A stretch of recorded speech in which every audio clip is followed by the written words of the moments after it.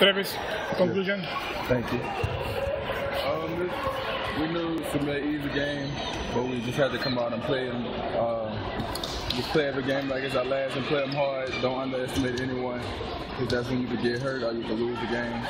we came out, we just wanted to get the young fellas some playing time, so tried to get a quick lead and rest some of the ones who play the most and let them play a little bit.